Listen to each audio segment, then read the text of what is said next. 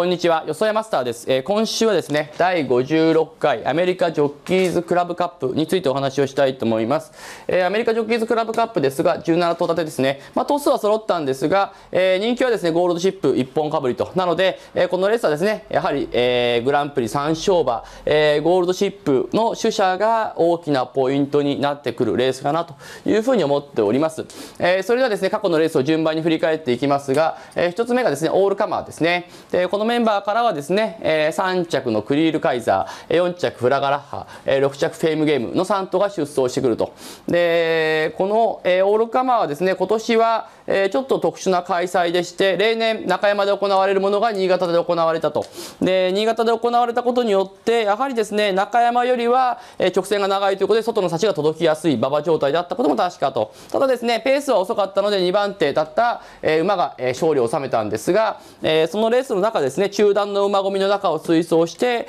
えー、クリルカイザーがですね、3着だったと。で、まあ、これ見るとですね、まあ、あのー、このメンバーでの3着っていうのは立派ですし、やはりその後も、えー、重賞で構想を繰り返しているのはわかるのかなという感じがします。で、一方ですね、えー、どんじりから大外回って追い込んだのが、えー、フラガラッハですね。まあ、このフラガラッハですね、やはり高齢ということと客室的に地味ということで、かなりどんじりから追い込む馬なので、いつも人気にはならないんですが、差しが届く展開になると堅実に追い込んでくると。なので、えー、一戦級、この、まあ、このアメリカジョッキーズクラブカップのメンバーに入っても、えー、外の差しが届く展開になれば当然構想比という判断でいいのかなと思います。で、あとですね、えー、この時休み明けで8枠16番ということで、コーナー枠でかなり外を回らされてしまったということがあって、6着に敗れてしまったんですが、まあ、あの、着差を考えると、この3頭、3、4、6着、着順ほど差がない、かつですね、えー、終始外を回らされて休み明けだった分、私としてはやはりこの、えー、一番負けたフェイムゲームが内容が良かったのかなと思います。ただまあ、このオールカマーの、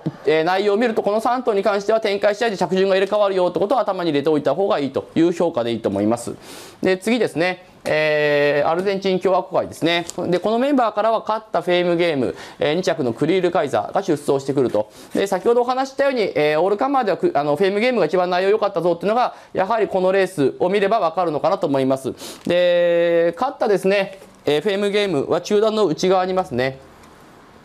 で、ここで足を溜めての1着と。で、こういうですね、スムーズに折り合える競馬ができれば、やはり、えー、着着差、2着に2馬身半もの差をつけて力の違いを見せ見せたというところもあるので、やはり力が上というところを示せたのかなという感じがします。で、一方、クリルカイザー、まあ、先行して、えー、まあ、しぶといレースをしたんですが、まあ、このレースちょっと、あの、見方が2つに分かれまして、離れた2番手というですね、この場合はですね、逃げた馬が離してくれたことによって、えー、まあ、平均ペースからやや遅いぐらいの流れで、えー、え短期逃げと同じ状態になったという展開に恵まれたと見ることもできます。なので、えー、このレース先を見ると一つ言えるのは、えー、フェイムゲームが力がちょっと上だったよということと、あとクリルカイザーに関してはやはりちょっと力負けだったんだけれども、ただ先行できる客室なので、アメリカジョッキーズクラブカップが先行馬不在で、えー、今回短期逃げになるようであれば、もしかすると展開利を生かして逆転という可能性は若干残るかなという感じがしております。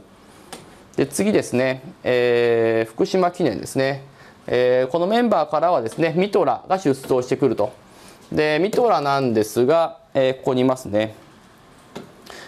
えー、院の3番手の絶好位ですね。で、この福島のですね、4回福島という11月の開催なんですが、この開催極端に内側しか伸びませんでした。まあ、最近ここ1、2年ですね、福島、えー、もう本当にいい有利な馬場がずっ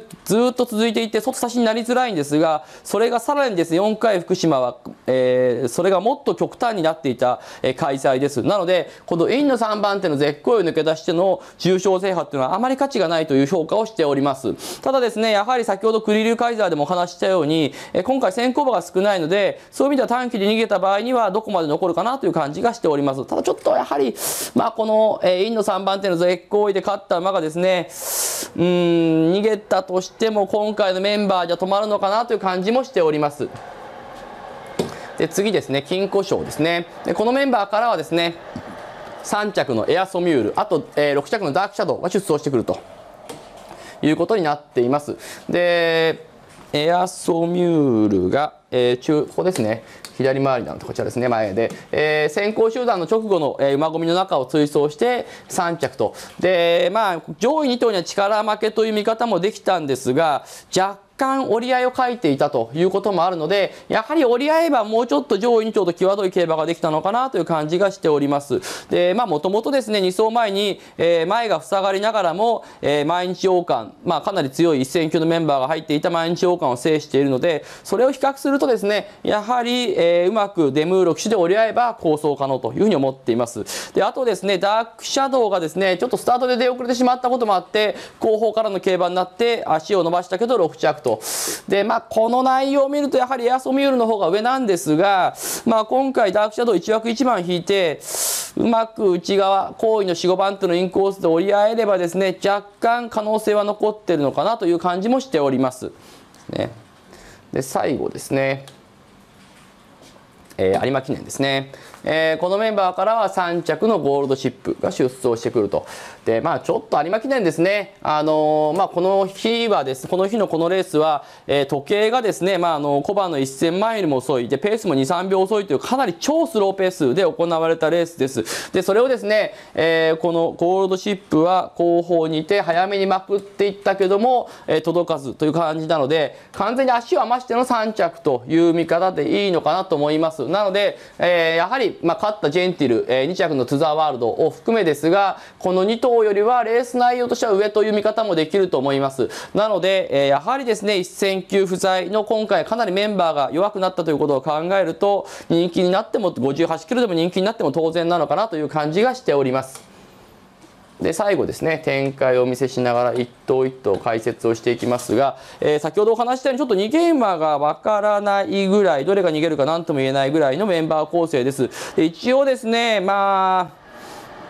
このメンバーだとクリルカイザーかミトラあたりが、えー、先手を主張するかなという感じ、まあ、内からのマイネルフロストフロストが言ってもいいんですがこの3頭あたりが逃げ候補なのかなという感じがして、まあ、4もありますね。パッションナスこの4頭ですかね。この4頭が先手候補だと思っています。でやはりかなりのスローペースで、えー、瞬発力勝負ということになるというふうに思っています。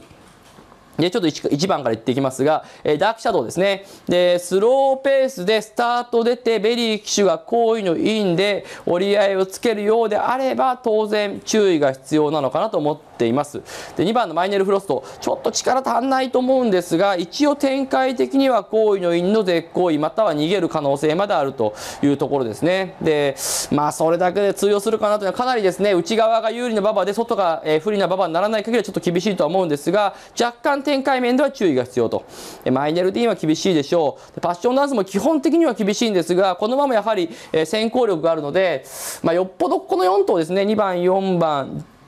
まあ、順はいいんですが、させるも、させるも、この、この3頭に関しては、よ、先行してですね、かなり前残りの展開になった時だけ若干注意が必要と。で、まあ、ただ基本的にはですね、力でちょっと足んないのかなという感じがしています。で、5番のフラガラハ、えー、力はですね、このメンバーに入っても確実に追い込むんで通用するんですが、やはり今回のメンバーで差しが届く展開になるかなというちょっと疑問ですね。で、ディサイファ、えー、今ジャパンカップ天皇賞と一戦級相手と。でまあもともとエプソムカップで重賞も制していますし、えー、うまく、えー、まあそこそこ先行する足もあるのでうまく好意で折り合いをつければ若干、えー、そこそこあの通用するのかなと思っています。でマイネーメダリストは、えー、無理でしょう。で問題ゴールドシップなんですが、えー、このまああの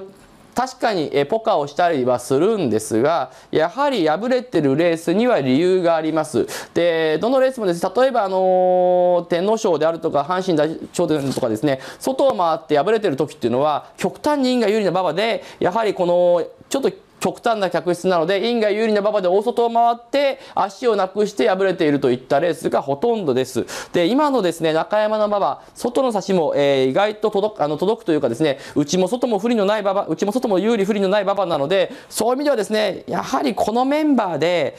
今のえー、中山の馬場状態ならば負けられないと見ていいのかなと思っています。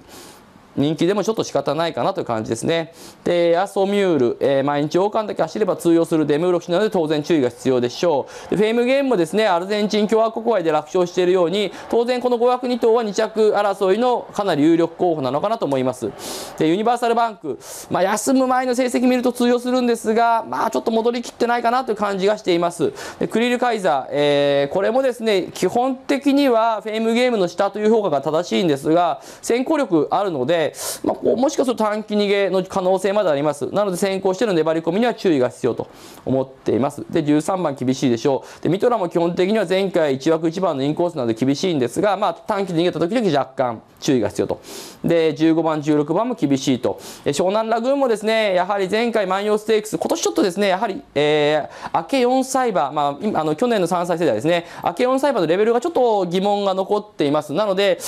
まあどうせ追い込みだし外を回らされそうというところもあるので、まあ、それをどう評価するかかなと思います人気次第ではちょっとまあ軽視してもいいのかなという感じがしております。え一応17頭こういう形で分析しています。基本的にはですね、ゴールドシップの2着争いという評価でいいと思います。で、あとは2着争いどこを、えー、紐に入れていくかっていうのは、やはりですね、えー、と、あの、土曜日の競馬を見て最終的な、えー、馬場状態とですね、展開を考えて、えー、判断したいというふうに思っております。えー、無料会員の方はここで終わらせていただきます。また来週楽しみにしていてください。えー、ここから、えー、有料会員様、